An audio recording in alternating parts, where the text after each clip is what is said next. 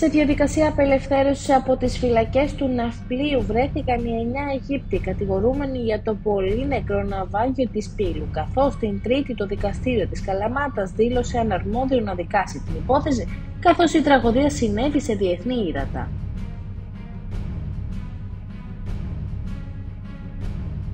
και 9 κατηγορούμενοι αποφασίστηκε να αφαιθούν ελεύθεροι, οι 8 από τις φυλακές Ναυπλίου και ο ένας από τις φυλακές Αυλώνα.